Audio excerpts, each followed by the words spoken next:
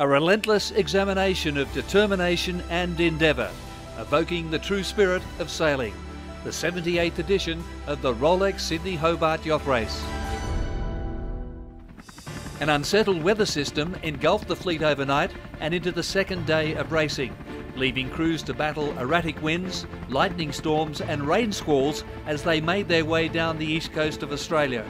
It's been raining on and off. There's been quite a few storm cells come through over the night, so pouring rain at the moment. The boys are all looking very wet. I'm hiding in my nav station.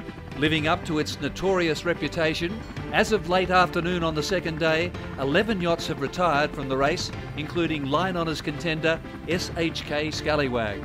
With Wild Thing 100 falling off the pace, the RP72 URM Group moved into third in the fight for line honours. Over the last couple of hours, we've been doing quite well. We, we're now slightly in front with Moneypenny off our stern. I mean, the big boats are doing really well. LawConnect and, and Comanche have just had the perfect conditions really for them. The tussle between the two leading maxis is a thrilling one, wrestling back and forth for the lead. Yeah, we've had a little bit of everything. In fact, the wildest was like literally 180 degree wind shifts. Uh, been pretty wild.